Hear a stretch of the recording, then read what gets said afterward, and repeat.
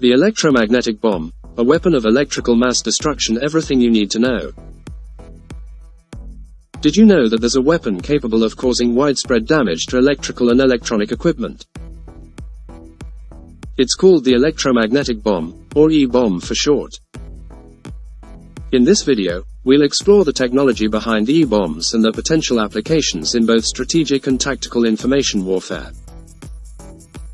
The key to the destructive power of E-bombs lies in the electromagnetic pulse, EMP, effect.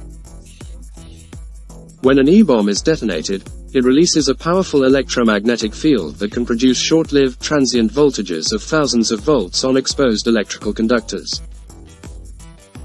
This can result in irreversible damage to a wide range of equipment, including computers, radios, and radar receivers. Commercial computer equipment, with its high-density metal oxide semiconductor, MOS, devices, is particularly vulnerable to EMP effects. Even a voltage in excess of tens of volts can permanently destroy these devices. Other electronic devices and electrical equipment, such as telecommunications equipment and receivers, are also at risk. The technology base for E-bombs is diverse and mature.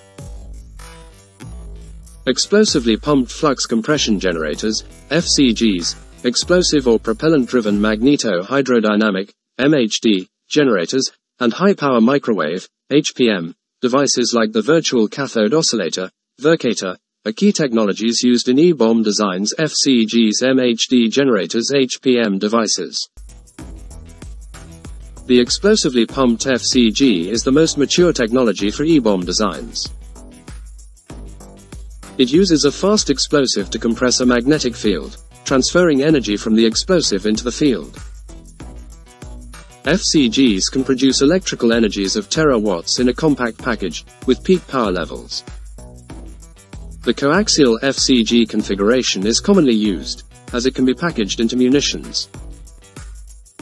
Explosive and propellant-driven MHD generators are less mature but have potential applications in E-bombs.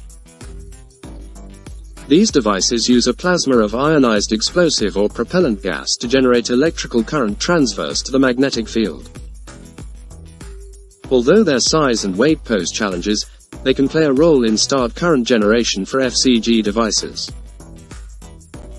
E-bombs have the potential to be highly effective tools in information warfare, allowing for the destruction of an opponent's information systems.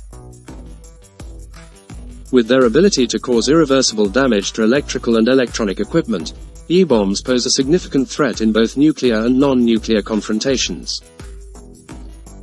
As technology continues to advance, it's crucial to understand the capabilities and implications of these weapons. Subscribe Defense Matters.